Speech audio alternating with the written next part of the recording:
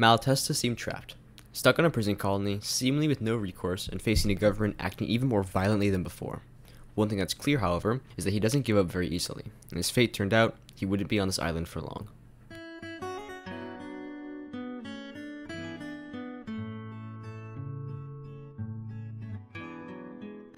He's transferred to the island of Ustica to Lampedusa. The goal was to make escape harder, but this had the opposite effect. While Lampedusa was farther away from any inhabited settlement, it was also farther away from the oversight of the Italian government. This, as it turned out, would backfire tremendously. In an incident similar to his time back in Trani all the way in 1874, he befriended the director of the colony who quickly became sympathetic towards him and many of the other political prisoners. He allowed them to travel throughout the colony with less and less supervision, and began to allow letters to flow freely to the mainland. In one kind of funny instance, he wrote a direct reply to a few socialists who wanted to vote him into public office to free him from prison, outraged at the idea that he'd never want to be in the government. As you can tell, just like Trani in 1874, the prison didn't exactly hold him for very long. On May 9, 1899, in the dead of night, he and a comrade from Florence hopped on a fishing boat and left. He returned to his foreign home on Islington High Street, but he didn't stay in London for all that long. Pedro Esteve, an old Spanish comrade, had invited Malatesta to come to Paterson, New Jersey. Some of you might recognize that name, as it was a famous hotspot for anarchism during the 19th and 20th centuries.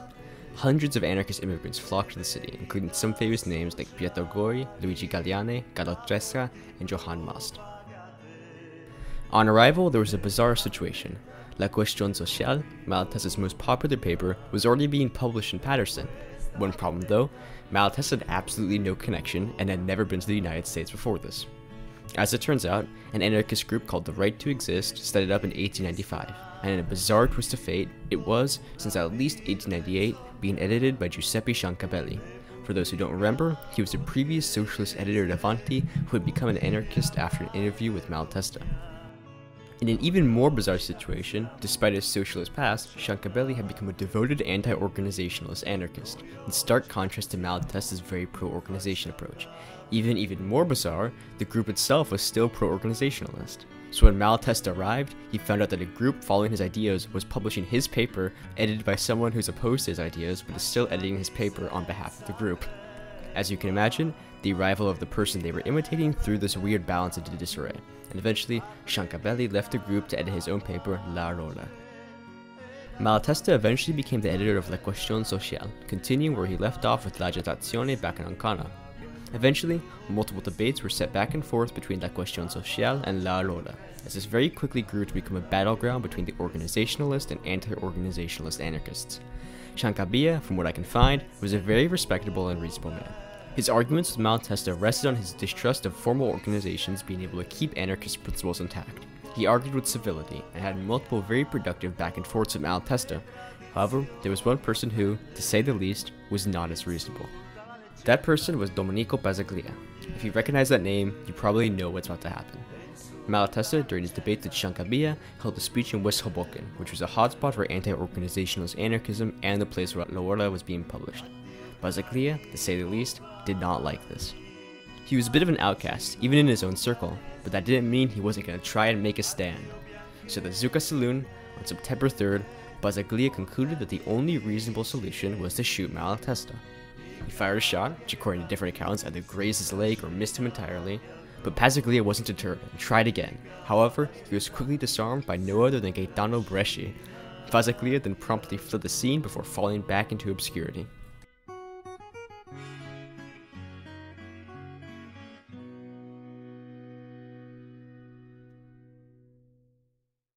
The police arrived at the scene and in proper police fashion decided to arrest Malatesta. Despite this, Malatesta refused to say who shot him and was released shortly after. Rather than sensationalize the story any further, Malatesta decided not to publish what had happened in his paper. Instead, he continued writing the usual counters to L'Aurora as if nothing happened. Don't, however, let this incident reflect too badly on Ciancabilla or the other anti-organizationalists. Regardless of their theoretical disputes, Ciancabilla still remained another fighter for freedom and liberation and had nothing to do with the assassination attempt. He continued to publish L'Aurora, but facing government persecution after the assassination of McKinley, he was forced to San Francisco. He continued publishing there before dying tragically in 1904, only 32 years old. I'll put the ending to his Against Organization, authored by him, in respect for a life cut too short. Quote, We do not oppose the organizers. They will continue, if they like, in their tactics. If, as I think, it will not do any great good, it will not do any great harm either. But it seems to me that they have arrived, throwing their cry of alarm and blacklisting us as either savages or as theoretical dreamers. Malatesta stayed in America for a few more months, but shortly returned to London for what Fabbri claims are personal reasons. However, he wouldn't have much time to rest before shots rang out that were heard across all of Europe. Gaetano Bresci, following the brutal Bava Beccaris massacre, where the King of Italy congratulated a general who shot dead nearly 400 protesters, decided to do the unthinkable. He returned to his homeland of Italy with only a revolver and a few personal belongings. On July 29th, he did what Giovanni Passannante couldn't. He shot dead the King of Italy.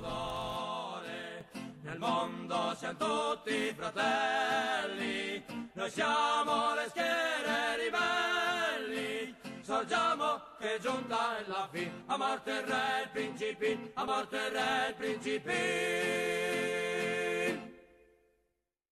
This event sent shockwaves throughout all of Europe, perhaps the most prominent assassination since when Tsar Alexander II was gunned down in 1881. The trial became a massive spectacle. Saverio Merlino led Bresci's defense, and the event became a massive rallying cry for anarchists throughout the whole world. Unfortunately, it was also used to justify massive repression, Italy especially became extremely treacherous. Malatesta wrote an article about the whole incident. Apparently, after the king's death, thousands of Republicans, liberals, etc., had a sudden outpouring of sympathy for Umberto I.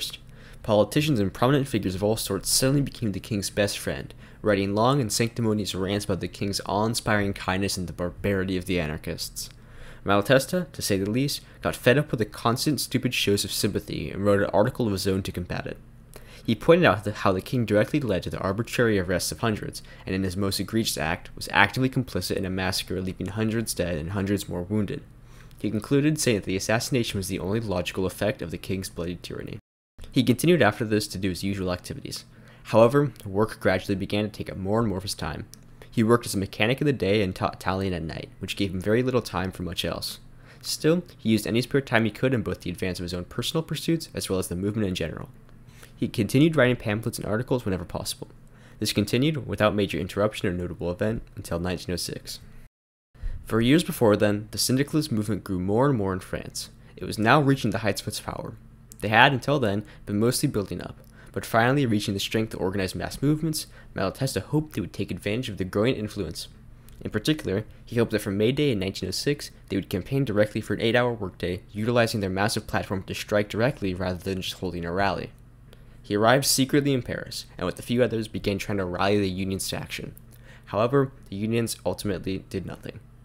This is one of the first disappointments that made him realize that syndicalism had to be balanced. It seemed like the syndicates were willing to build up, to organize, to gain the support amongst the working class, but were utterly paralyzed when it came to the actual moment of action.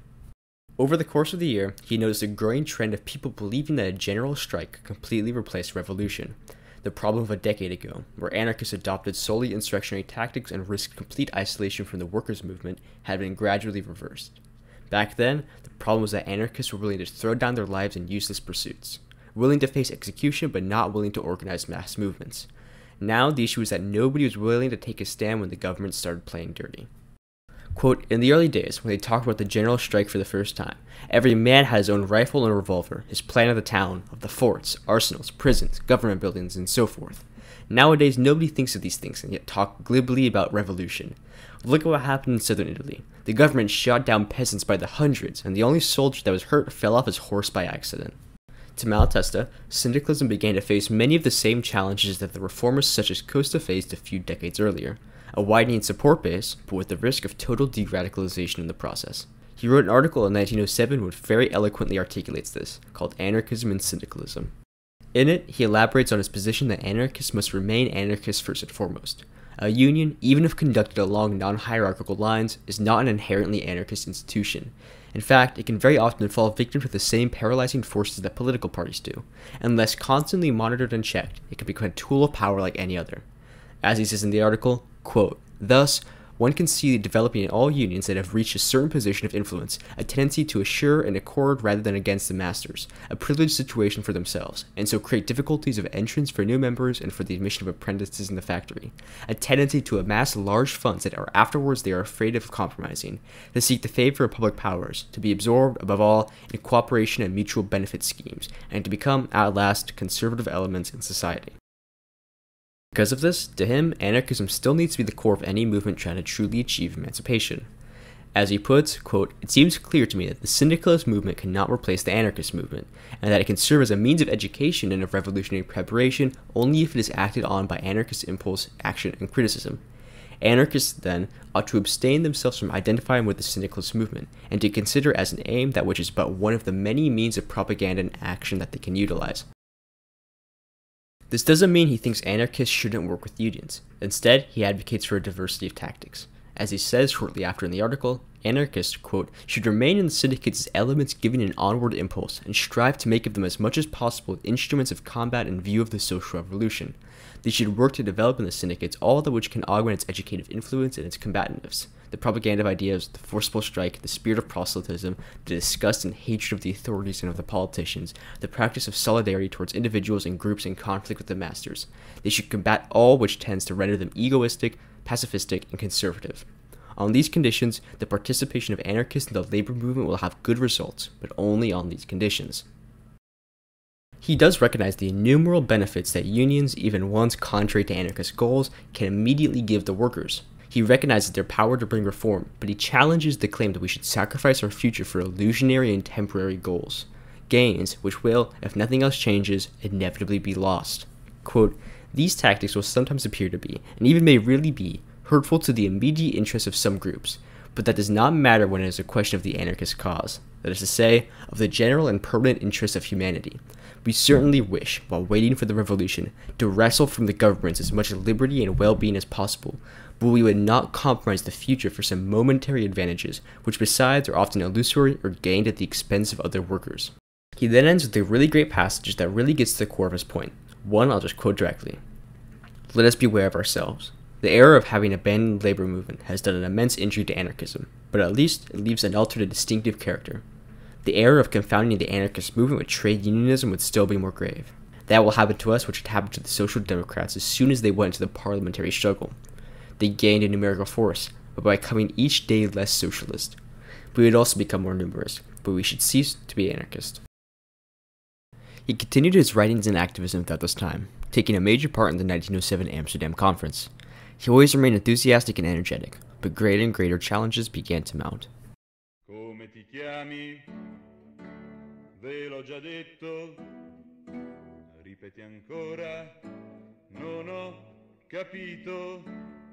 1910 was when Malatesta's age began to really show. He was 57 by this time, and his enthusiasm couldn't always help him. He suffered from chronic lung problems throughout all of this, which combined with his hazardous work in old age put him at great risk. Despite him nearing 60, he still worked from morning to sunset in dark and freezing London houses, crawling through ducts and passages in his job as a mechanic and electrician. He suffered multiple bronchial attacks, even more than before. He was lucky in that Emilia and Giovanni Defendi were still always there to take care of him.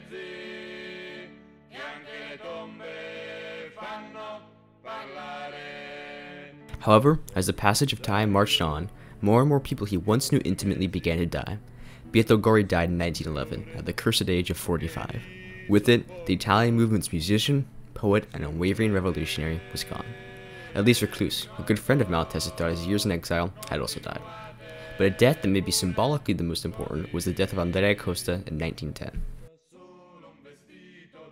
The old alliance had been fractured beyond repair a long time ago, but the death of Costa had finally buried it and in fact it's even a bit shocking to me.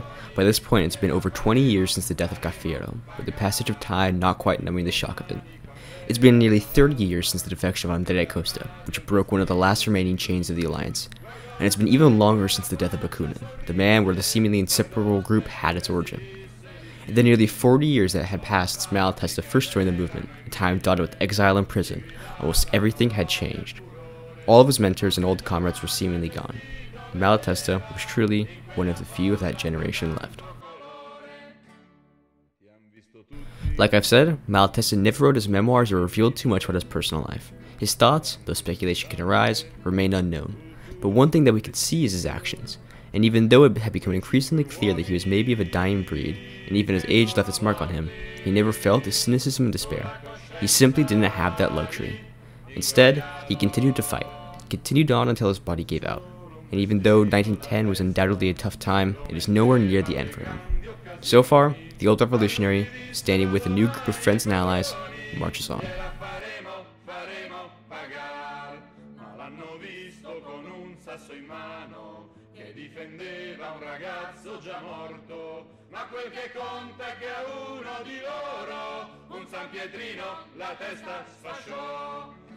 scontato vent'anni in prigione perché un gendarme si è rotto la testa. Ormai Giovanna ha tre figlie in pensione, chissà se ha visto il vestito da festa. Ormai Giovanna ha tre figlie in pensione, chissà se ha visto il vestito da festa.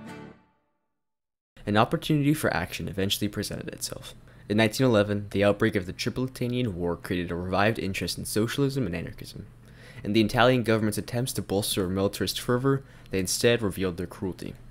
A new wave of popular movements crashed throughout Italy, reviving the seemingly waning movements of the time. He made multiple articles condemning the war, trying to rally the Italian people to his side. He wasn't, however, just satisfied with the writing.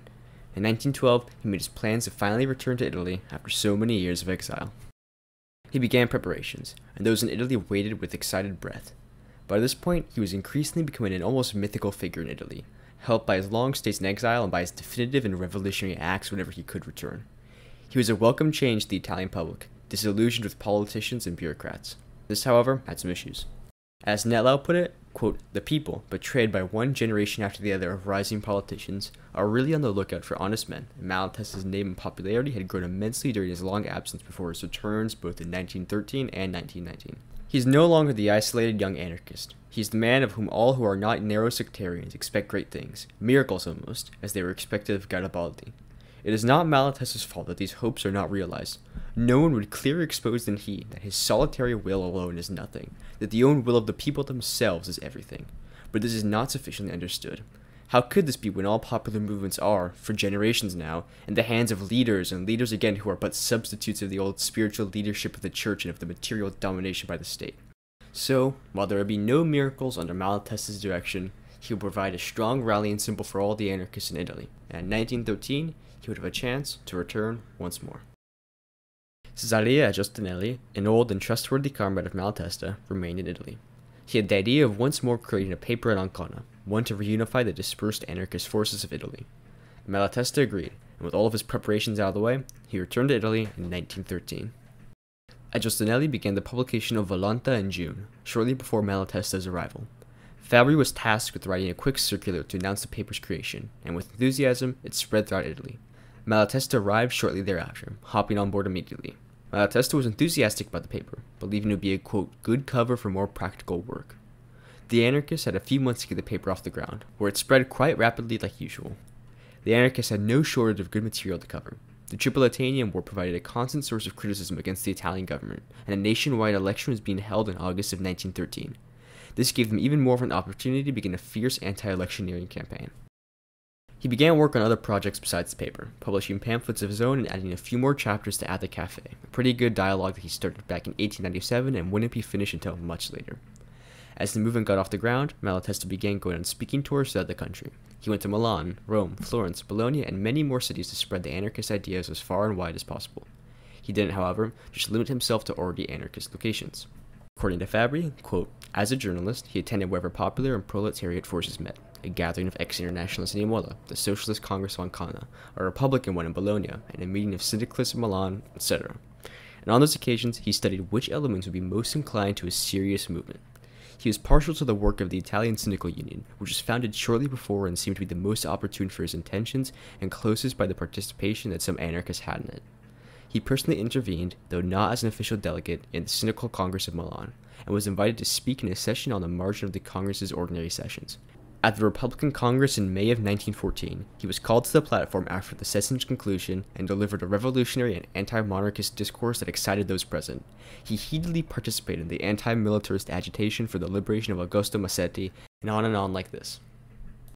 Essentially, he was trying to get the anarchist message heard even in areas that were typically not keen to listen.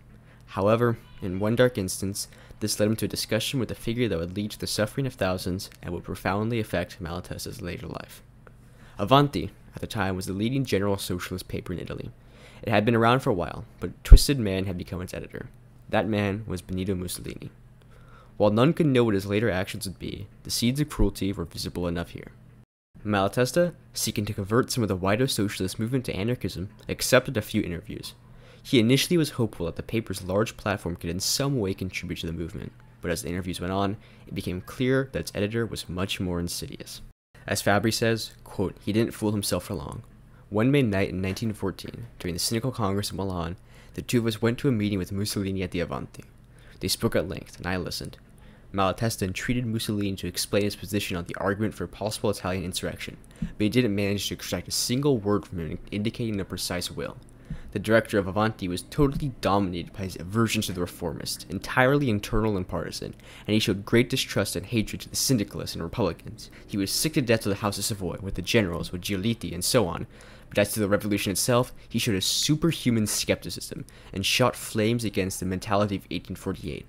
Upon leaving and already on the stairs, referring to Mussolini's offhanded judgment of Giuliano Barni and Libero Tancredi, who he called hypercritical and nothing more, Malatesta told me, quote, Did you catch that? He called Barni and Tancredi hypercritical, but he is the one who's hypercritical and nothing more. This man is a revolutionary only in the paper. I want nothing to do with it. Malatesta distanced himself from Mussolini earlier than most. The wider Socialist Party would later do the same, though arguably a bit too late.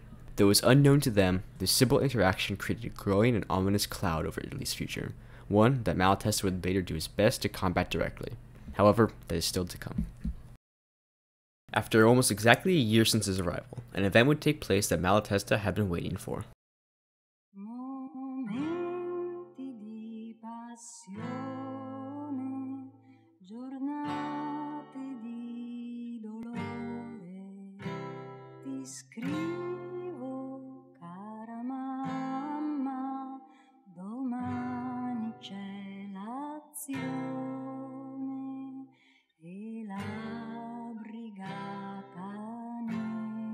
The Italian socialist movement had been steadily growing, and by now, the pent up tension had finally reached its boiling point. The final straw was the killing of three anti militant protesters, unleashing a wave of action across Italy.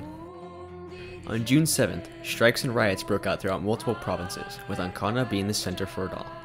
A general strike was proclaimed, and the police were expelled from the city. The movement spread like a burning flame all throughout the region.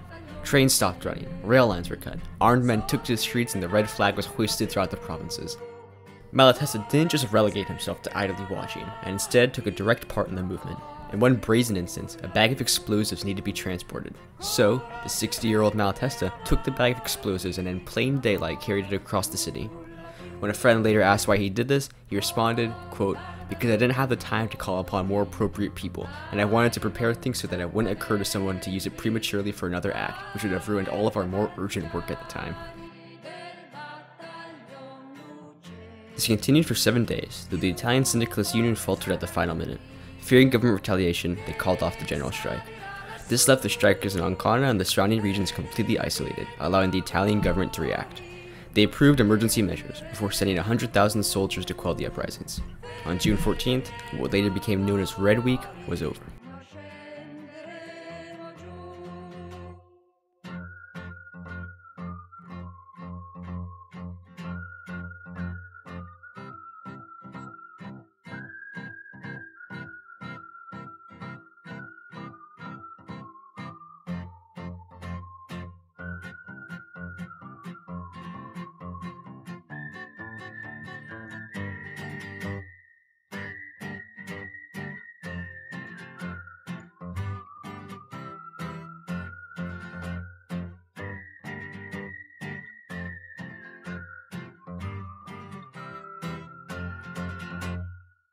Hope of revolution had been dashed, and due to his involvement, Malatesta realized he couldn't stay in Ancona for long. Still, he didn't lose hope. He prepared an article titled And Now, detailing what to do going forward, and left it behind to be published. The police went to arrest him, but he had already left. This is going to be kind of a break in the tone, but the way Fabbri describes Malatesta's disguise is kind of hilarious. So he arrived in the south in a friend's car, where, quote, he had simply put on a fashionable windbreaker over his clothing and had shaved. So, Malatesta in a super snazzy outfit got a train in Milan all the way to the Swiss border. No one noticed him, undoubtedly due to how fashionable and sharp he was. Though, let's be honest, Malatesta is always fashionable. Anyway, he made his way back to London. He published a letter to his friends saying that he arrived safely and went back to his life in exile. He began to take up his usual life in exile, working as a mechanic and searching for opportunities to spread anarchism. However, these efforts would be nearly shattered by a few major events. The first, and most bombastic, was the Great War. The entire continent was consumed in a flurry of nationalist nonsense. His own country was dragged into the war through the vile hands of militarists, and he could only stand by and watch. Letters, materials, everything was extremely hard to get through the war zones, and he was, essentially, stuck in London. Isolated and alone, he remained with the comrades in exile and his close friends of the Defendi family, but even that wouldn't last long. Emilia Defendi, his old lover from his youth, the one who housed him in exile and took great care of him when his chronic illness struck, and a great friend, fell gravely ill near the outbreak of the war. As the condition got worse and worse, Malatesta stayed by her side doing all he could. In this dark time, he was surrounded by a small clique, his closest comrades, the Defendi's kids who were like his own, and his dying friend. In those dark London nights, months went by. The sickness only got more and more painful as hope slowly vanished. Malatesta stayed there until the very end, and with it, one of his closest friends was gone. Still, though devastated, he was not the only one to feel pain this great, and that's a fact he was intimately aware of. Once Emilia was gone, Malatesta focused his efforts on combating the sickening and violent war which took away so many young and innocent for the benefit of a few magnates and barons. He remained steadfast in opposition to the war, but was further insulted by the so-called socialists and even anarchists who do not hold these convictions. Thousands of socialists threw themselves in support of various sides. To this, Malatesta wasn't very surprised at. What shocked him was the anarchists. Though far, far fewer did the same, he was horrified at some who did. It wasn't just limited to the small time and the young. Old, seasoned veterans threw themselves behind some of the powers. But of all those who defected, the one that broke Malatesta the most was Kropotkin. Kropotkin publicly declared his support for the Entente powers, believing that if the Central Powers won, there would be no way to have a revolution. This sent shockwaves throughout the anarchist movement, though most were very quick to respond. Malatesta himself created an extremely succinct article about it, simply titled Anarchists Have Forgotten Their Principles. He opens, quote, At the risk of passing as a simpleton, I confess I would never have believed it possible that socialists, even social democrats, would applaud and voluntarily take part either on the side of the Germans or the Allies in a war like the one that is present devastating Europe. But what is there to say when the same is done by anarchists? Not numerous, it is true, but having amongst them comrades whom we love and respect most. The article itself is great, and I highly recommend you check it out, but essentially it lambasts the short-sighted folly of so many socialists in supporting a war which is ultimately only for the interests of the ruling class. A war in which no matter which imperialist power you support, the lives of millions are thrown away and wasted as a result. So, Malatesta in this time where many others faltered, remained steadfast in his convictions. He wasn't alone though, and in fact, much of the anarchist movement decried those who faltered in this critical moment. Many prominent anarchists, including Malatesta, Alexander Berkman, Hippolyte Havel, Emma Goldman, and dozens more, signed the Anti-War Manifesto in 1915, declaring their total opposition to the war. Thousands stood up against the war, to great repression. In the US, many faced the so-called Espionage and Sedition Act, used to deport and arrest any who opposed the war. Many in Italy and England were arrested on the charge of defeatism, including Luigi Fabbri himself. So then, the greatest tragedy here wasn't the degradation of the anarchist movement, who as a whole remains fairly strong in their anti-war convictions. Rather, it was the stupid and unnecessary conflicts that arose with the comrades, some of whom were previously friends for decades. As for Kropotkin and Malatesta, quote, the friendship, which had lasted almost 40 years, was broken, though saving for each other regardless mutual esteem and respect. It was, he told me some years later, one of the saddest and most tragic moments of my life, that after a discussion in extreme duress, we separated as adversaries, almost as enemies. He remained in London throughout the war, always publishing anti-war material despite the censors. He tried returning to Italy during the war, but that effort failed, so instead he waited until the dust settled. In the wake of the Russian Revolution, he, like most socialists, were initially enthusiastic, though that quickly faded when the Bolsheviks increasingly took sole control. According to Nettlau, his position on the whole thing was the following.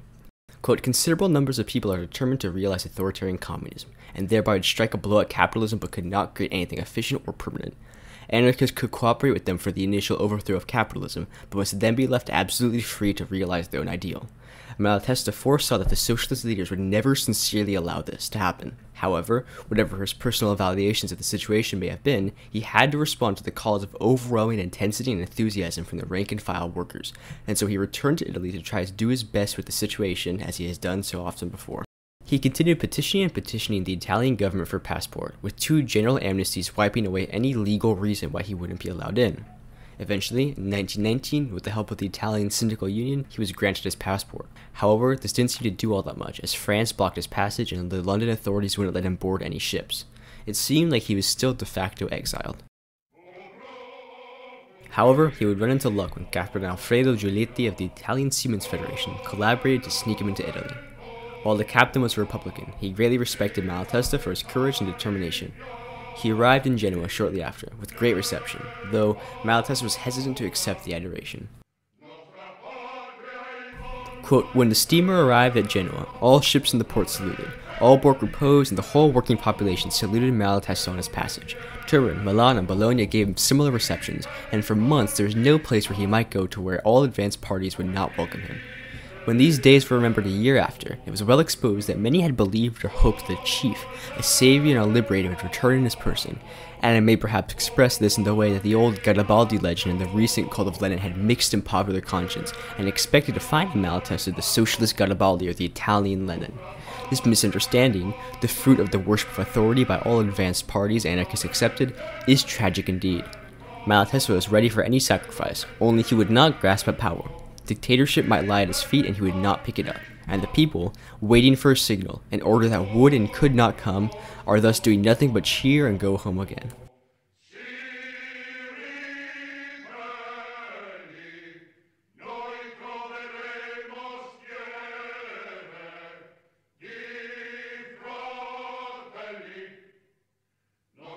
Though Malatesta had thousands adoring him, he wasn't willing to abuse that power. Instead, he did what he always did set up a paper called the Umanità Nova and picked up where he left off. It would quickly grow to become one of the most successful papers since the initial days of La Question Sociale, and one of the largest anarchist papers in general. Post-war Italy was a turbulent time. All sorts of groups vied for control, but Malatesta had the hope that in this tumult, true change would be possible. Close to his arrival, he held a speech with Luigi Galleani, who had also just arrived back in Italy. He held speeches all throughout Italy, traveling to Ancona, Turin, Milan, Rome, and much, much more. He was determined to use his opportunity to its absolute limit and not waste a single second. Quote, if we let the favorable moment pass, we will have to pay later in tears of blood for the fear that we now infuse the bourgeois with. In a local paper in Milan, they said of Malatesta, quote, the anarchist Malatesta is for now one of the greatest figures of Italian life. The city crowds run to meet him, and they don't hand him the keys to the doors that they used to do in another time, only because there aren't keys and there aren't doors. Eventually, though, he recognized that all the fanfare was a bit too much. He made a quick letter on the paper. In it, he said, quote, Thank you, but enough. Hyperbole is a rhetorical form which shouldn't be abused, and exalting a man is politically dangerous and morally unhealthy for the exalted and those doing the exalting.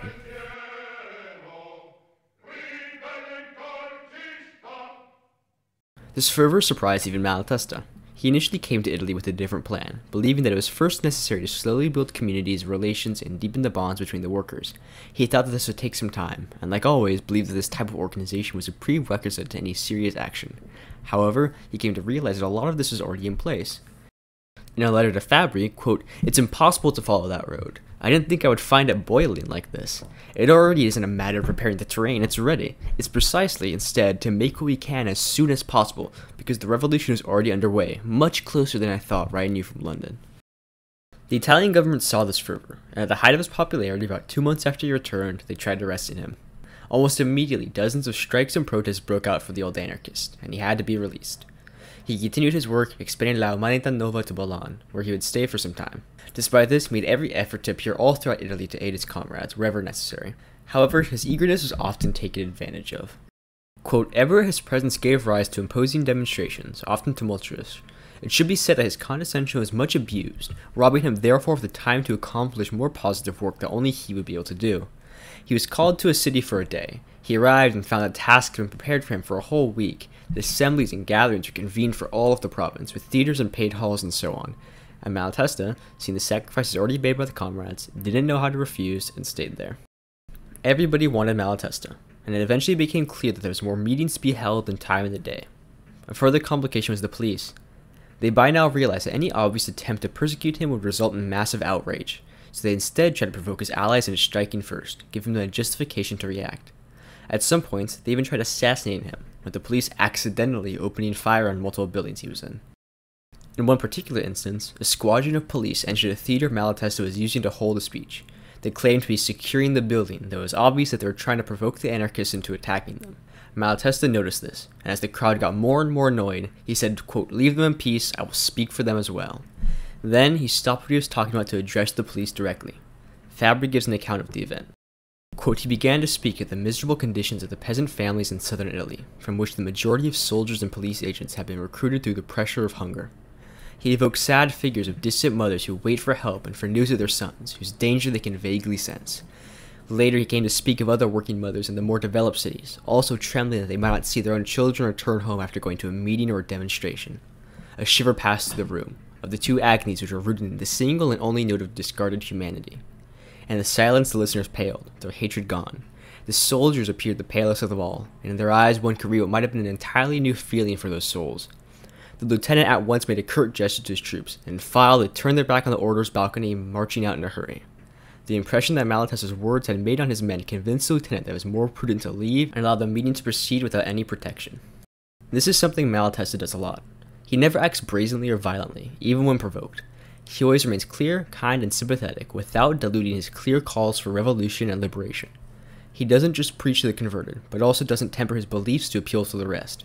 Instead, he explains with clarity and consideration open reasons why he supports what he supports and more than anything else, he backs them up with not just words, but actions. Speaking of actions, let's look at what's going on in Italy.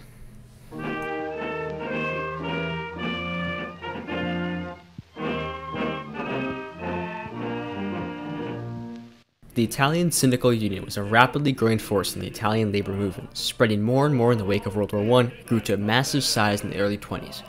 Even though, as I said before, Malatesta was extremely skeptical towards syndicalism, he still worked enthusiastically with the Union. He argued against the usual anti-organizationalists, and while making it again clear that a Union alone can't make a revolution, he believed that if the anarchists ignored the Union entirely, it would do great harm to their cause.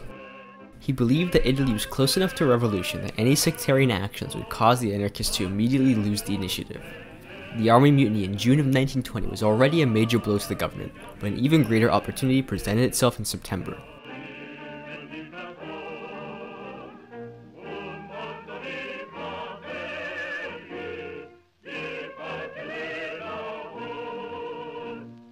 In Milan, dozens of factories were occupied by their workers. It initially seemed like an isolated phenomenon, but began to spread all throughout the region. Malatesta didn't waste any time. He went to the occupied regions and met with local comrades, and above all else, urged action in this rare opportunity. However, like in Ancona nearly six years before, some socialists grew scared at the final moment. They urged limiting the occupation or even ending them completely, fearing the government's response. Malatesta worked to oppose these forces, knowing that if they stood down in this decisive moment, all would be lost.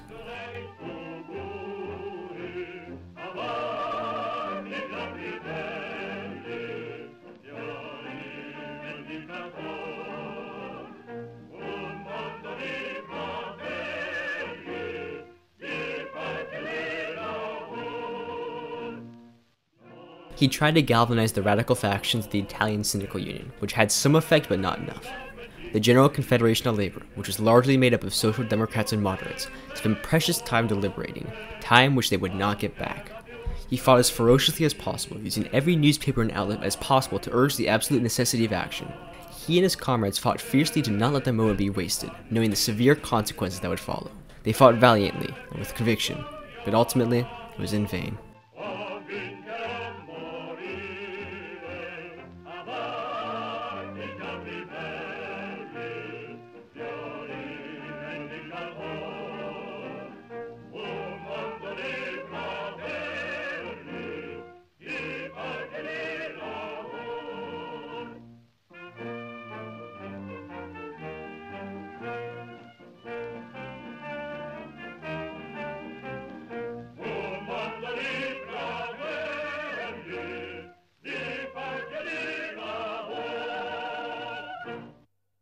Eventually, the government introduced some minor reforms to satisfy them, reforms which the moderates welcomed with open arms. What Malatesta immediately realized was how insidious this was. While some were celebrating the reforms, thinking that the government suddenly decided to care about the workers, Malatesta saw it for what it was a distraction. He knew that those in charge would seek revenge. By giving up the initiative, the elite were now in a position to furiously strike back. Quote, in all of Italy, the proletariat beat a retreat, began to lose heart. The uncertainty and disillusion began among the masses. The general enthusiasm was extinguished and the will to fight remained in the most restricted revolutionary minorities that the government managed to quickly isolate. The bourgeois came to rear its head and it crossed from the defensive to the offensive.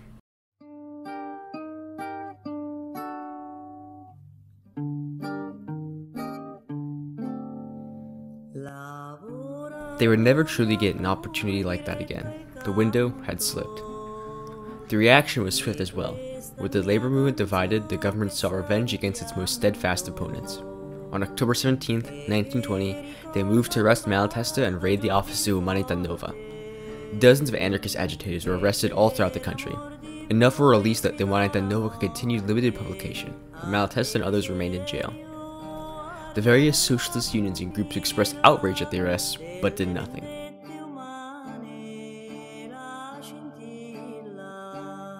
The outrage eventually slipped into jaded cynicism, with Avanti calling the arrest a quote transitory episode, claiming that nothing could be done about it. The cold reaction only furthered the government's bloodlust, and the anarchists were left on their own. Speaking of Avanti, their old director is now rampaging the streets with his fascist thugs. The black shirts began organizing all throughout Italy, and Mussolini's fascists went on the campaigns rampaging socialists, labor activists, and pretty much everybody.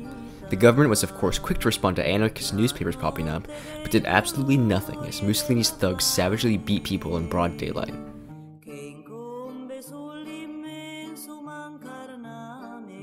Malatesta and others resorted to a hunger strike until the government said what they were even being charged with, but now in his 60s, this took a great toll on his health. It began to seem like he was in serious risk of death, and Umanità Nova released urgent cries for aid. Some spontaneous protests broke out for the old revolutionary, but the whole socialist movement seemingly paralyzed, they quickly faded. The offices of Umanità Nova themselves were raided by the fascists, though despite them breaking everything, the paper reopened only a few months later. The hopeful, albeit chaotic enthusiasm that filled the early years was gone, and in its place a vile specter of violence and hate spread across the country. Fear paralyzed action, and the government watched on with satisfaction as those who plagued them so much in the past were now being savagely attacked in the streets. The government, in all truth, did less than nothing to stop the fascist threats. They were collaborators before Mussolini even took power. In public, they might have spouted the occasional and sanctimonious declarations against the fascist violence, but really they watched on with satisfaction. Where was Kropotkin, Pietro Gori, the old Costa, Cafiero, Bakunin? In those days, hope was in the air, the movement was fresh, everything seemed possible. But now, they were all gone. However, even in this time of despair, Malatesta didn't fall into a nostalgic longing for what was. Simply put, he couldn't afford it. So instead, with his trial approaching, he remained steadfast as always.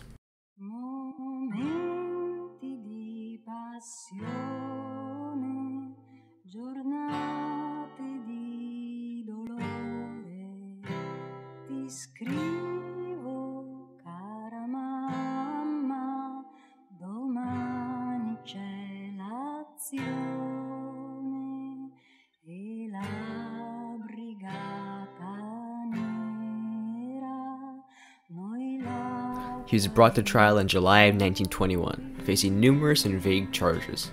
Amongst those defending him was his longtime friend, Saverio Merlino. Despite him not being an active part of the movement for decades, he wouldn't let his old friend down.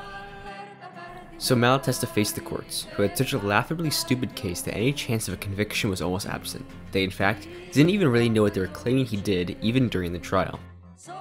It became clear that there wasn't much time to go on long propaganda speeches throughout the trial like he did in the trials before, mostly because the trial was clearly not going to last very long.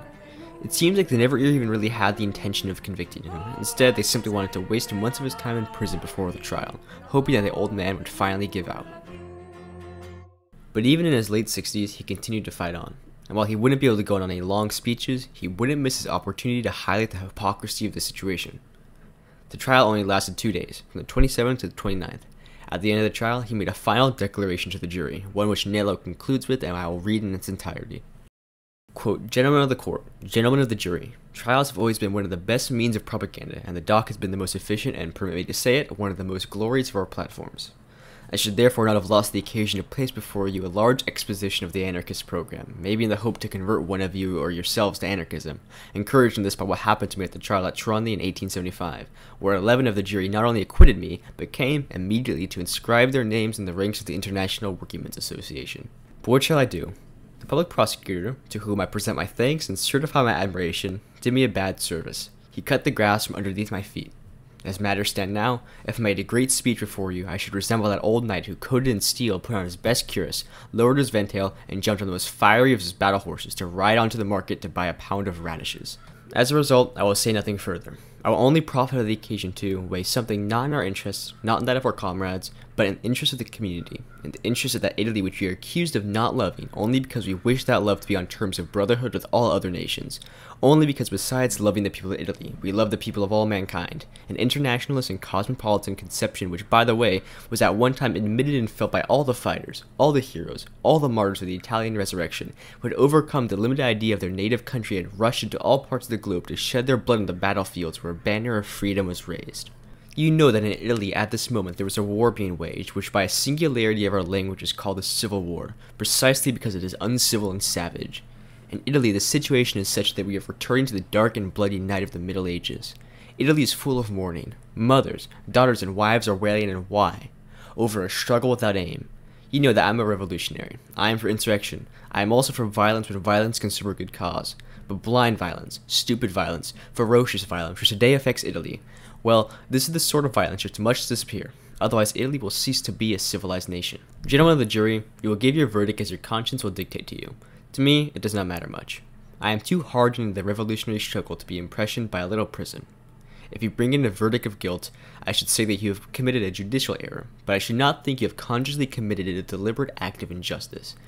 I should hold you in the same esteem, because I should be sure that your conscience dictated the verdict. But I am an optimist. I do not think that there are men who do evil for evil's sake, or if there exists such a man, he belongs more to the specialist in insanity than to the judge in criminal matters. But all the same, all do not think like myself. If you gave a verdict of guilty, our friends, by party spirit, by overgreat affection, would interpret this as a class verdict, would interpret it as a deliberate injustice, and you would have sown a new seed of hatred and rancor. Do not do this. This civil struggle is repugnant to all. It is repugnant to all by their elementary sense of common humanity, and it is nobody of any use to none of their classes and parties. It is not of any use to the employers, the capitalists who need order for their industries and trade. It is not of any use to the proletarians who must work in order to live and who must prepare themselves for the elevation by practical experience and solidarity. It is not of any use to the conservatives who wish to conserve something else than ferocious massacre. And it is of no use either to us who shall know how to found upon the present hatred a harmonious society, a society of free men, the condition and guarantee of which shall be toleration, the respect of honestly professed opinions.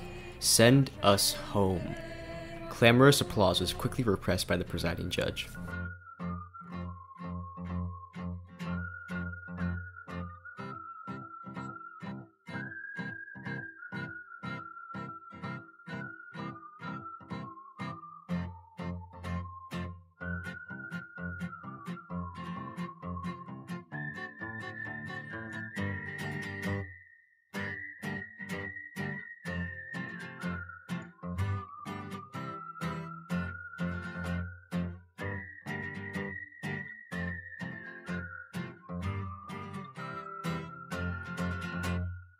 Nettlau's biography was written during Malatesta's life, with his trial being its conclusion, and as such, Fabbri will lead us the rest of the way.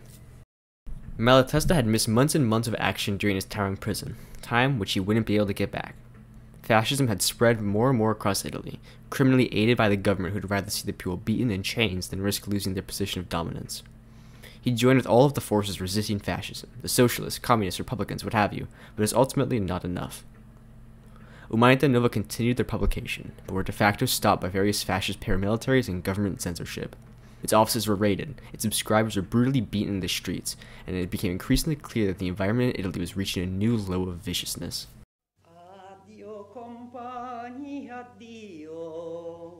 Malatesta had a quick respite in September of 1922. It was the anniversary of that fateful Congress in Saint-Imier, exactly 50 years before.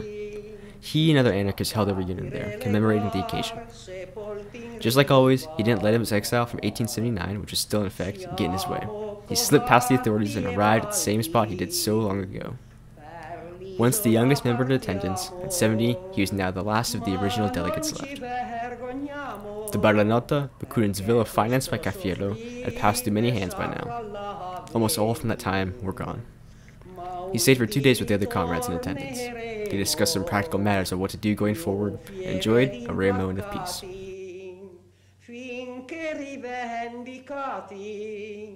ne siano i dritti ancor d'ogni lavorator. He returned to Rome where he was living with his close friend Elena Melli. Malatesta remained optimistic for Italy's future, though this optimism would slowly fade. A month after his return, the fascists marched on Rome. The government did less than nothing, legitimizing their thuggish takeover. The Prime Minister, for his part, said that the government should use emergency powers to quell the insurrection, and the King, for his part, overruled him and forced him to resign. With this, Mussolini was now the prime minister. Malatesta remained in triumphant defiance, but they quickly repressed his paper before outright banning it in December. After three years of working for Umanità Nova, he returned to the profession he had worked for decades before. He set up a small mechanic shop in Rome, working as a manual laborer despite nearing 70 years old. He lived with Elena Melli and her daughter Gemma, who Fabbri says he adored like his own. Despite this meager situation, he never lost hope. He continued at any free time possible to write and contact comrades abroad. While many others like Fabbri began to flee Italy to escape the fascist persecution, Malatesta stayed to make some sort of stand, though he'd later acknowledge it was mostly in vain. Interestingly, among the few who stayed in Italy was Saverio Merlino, his old friend from so long ago. In 1923, he turned 70. There was an outpouring of international sympathy for the old anarchist, though in Italy these displays were limited to his close friends and family. Still, his comrades got together enough funds to create a new paper, Volontà. During their consolidation of power, the fascists still operated under the guise of free press, a relic of the Constitution. As such, they couldn't immediately shut it down.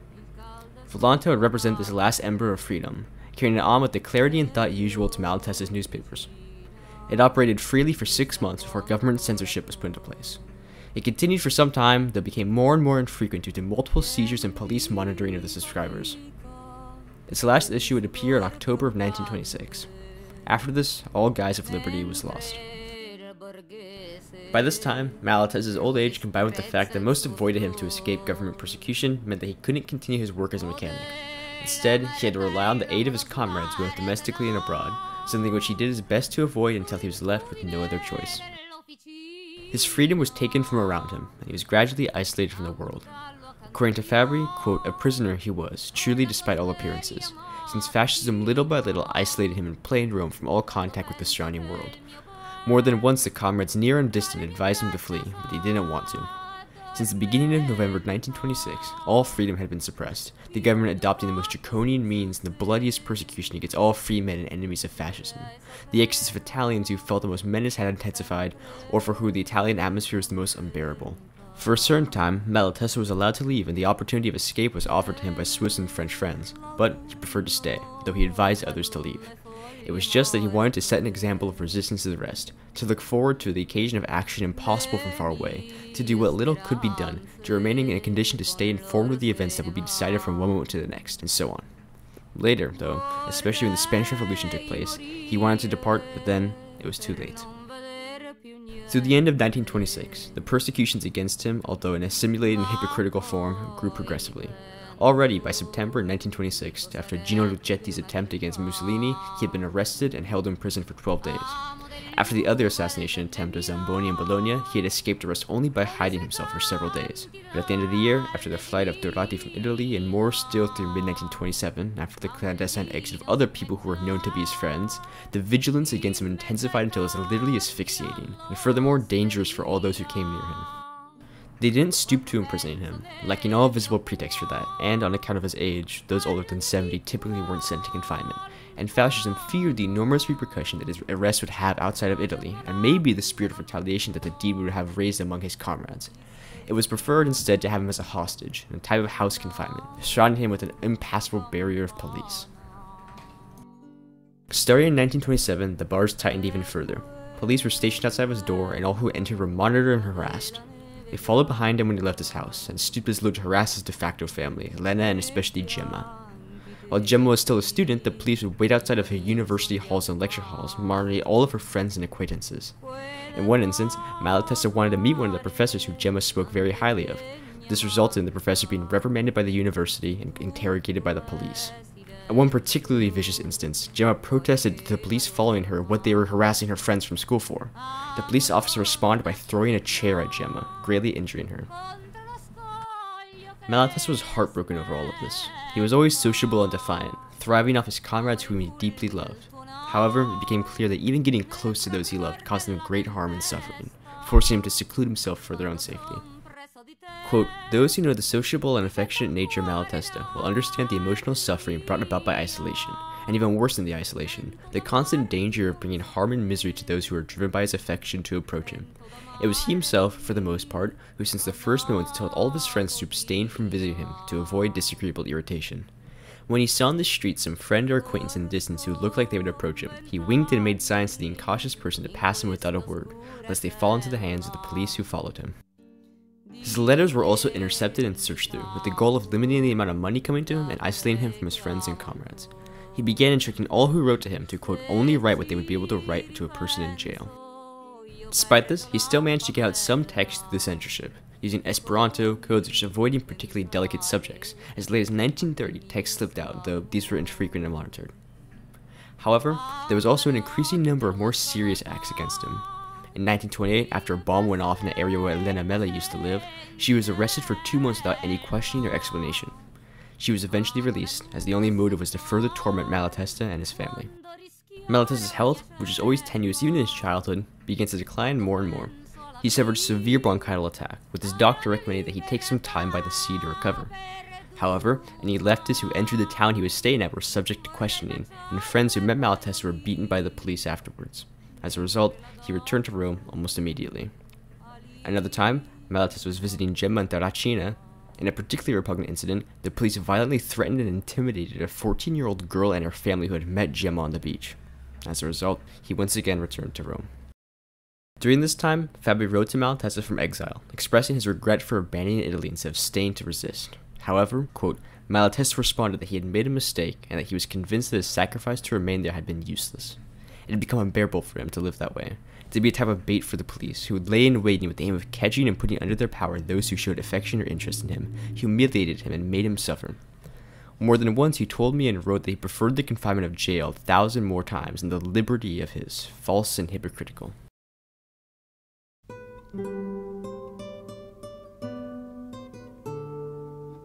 He continued to, though tormented, do his best to contribute. He was particularly pained at his inability to help the Spanish revolutionaries, something he believed had great potential ever since Bakunin first spoke with him on Cafiero about it all the way back in 1873. He said, quote, I have a fever. Don't be alarmed, I speak metaphorically, for the events of Spain.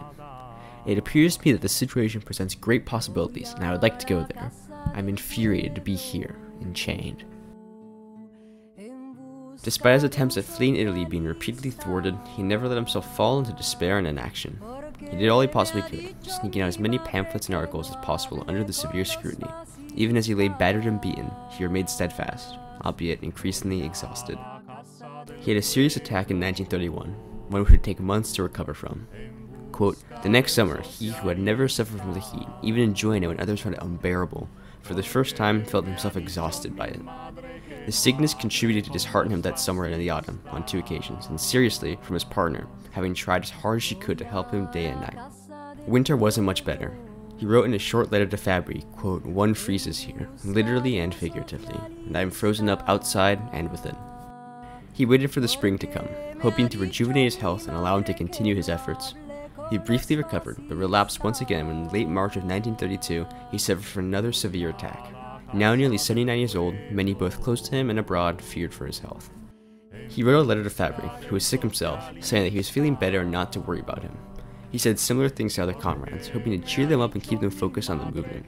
However, as Fabbri points out, he was much worse off than he let on. He wrote on June 30th in a letter to his close friend Luigi Bertoni, quote, I spend part of the day half sleeping, as a fool, I generally can't sleep at night, and by the other half I live in the intimate tragedy of my spirit, that is to say, I am shaken by the great affection that comrades feel for me, and at the same time tormented by the feeling of having merited it so little, and, what is much worse, by the growing awareness of already not being able to do anything in the future.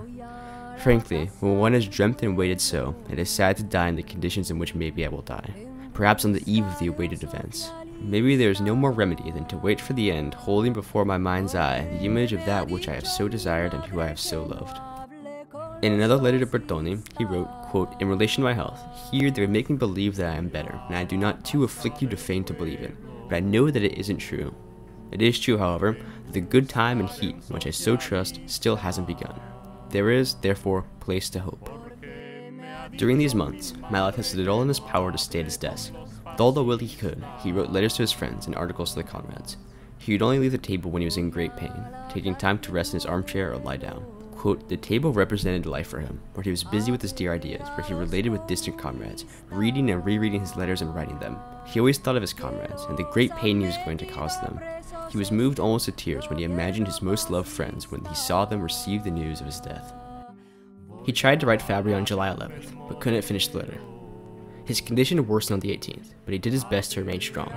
He hated the idea of his comrades who he loved so much, who did everything in his power to aid and care for, being left alone and saddened at his demise.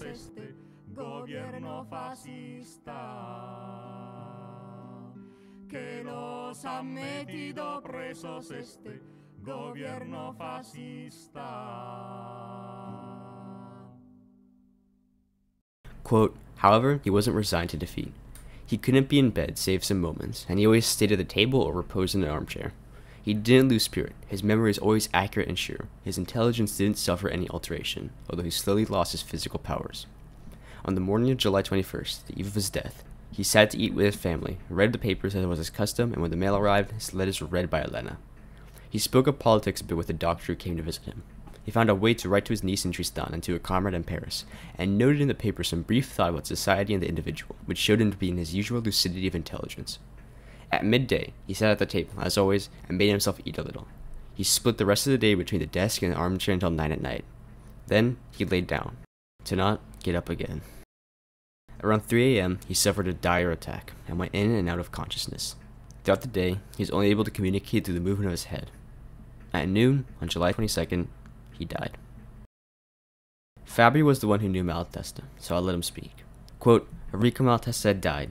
Our loved comrade, the friend, the brother, the father of so many of us, the faithful defender of the proletariat, the apostle of the revolution and anarchy, had ended his long, laborious, and heroic journey. Now, he belongs to history. The funeral was rather small, as it had to be. The police circled the event and took note of everybody attending, the only flowers permitted were a small wreath from the family, with just a small note reading, quote, to Errico Malatesta, Eduardo Antistan, Elena, and Gemma. Gemma had a bouquet of red flowers she wanted to put in his coffin, but as the procession went on, the police forbade her. Pained and saddened, she threw the flowers out of the window. The law usually allowed the procession to walk half a kilometer in the street, but the police forced those attending to get in their cars immediately after leaving the apartment. The funeral itself was short, the police flanking the whole event. Eventually, quote, Sunday at six in the morning, the coffin was lowered into the grave, in the common area of the poor people, amidst the dead of the people whom Malatesta had fought for his whole life. The government tried to harass him even in death, though they eventually relented. Quote, Malatesta, having died as he lived, outside all religion, had been taken to the cemetery without a cross, and his relatives had given dispositions in order that crosses not be placed on his tomb. But orders from the government of Rome were exact and unbendable. A cross was placed even above the grave of the atheist anarchist. Next morning, when Elena Melli went to the cemetery, she saw the cross, went to take it immediately, but had to go declare that she had removed it as his wife. Later, Elena was called to the police for this, though they didn't bother to offend her pain with useless reproaches. Friends and comrades throughout the world contributed to fund a true tomb for Malatesta. Quote, recourse has been had, for the not insignificant expenses, to the aid of the comrades and friends scattered throughout the world, and it has been had immediately and sufficiently. Therefore, in little more than a year, his wish and that of those who love Malatesta has been satisfied. Malatesta's tomb was found in the Campo Verano, the monumental Roman cemetery, in Division 30, third file, number 20, to the left of the broken column, beyond the ossuary. It is very simple, a rectangular stone lightly inclined, with his first and last name in letters, 11 centimeters high. date of birth and death in 4 centimeter letters, a flower pot with a smelted photograph encased. I'm having trouble ending this video, which at this point I spent nearly half a year working on. Upon reaching Malatesta's death, I feel almost saddened, but the knowledge that everyone in the story has been dead for nearly a hundred years now leaves me in this weird daze. But I do think I have some conclusions. Rather than falling into sentimentality, useless nostalgia over a time irretrievably gone, we need to work to make things better here and now. As Malatesta ages, and his writings become less and less applicable, there's one thing that never changes. His steadfast love for humanity and commitment to real actions which should guide us more than any theoretical position. There is much to be done, and we are the only ones who can do it. The anarchist movement may be weaker than ever, but that only presents an opportunity to start again more fresh and more radical than ever before. We cannot fall to pessimism, no matter how warranted, because that is simply surrender. We have to continue. We have to fight on because if we don't, nobody else will. We have to keep on fighting for that beautiful spirit of humanity, and always against those cruel tyrants who wish to keep us down. So long as there are still those who truly believe a better world is possible, and are willing not to just idly resist but actively fight for it, anarchism will survive. So to any of you listening, I wish you the best of luck. I hope to see you again, and I hope you will continue to fight on. But for now, farewell.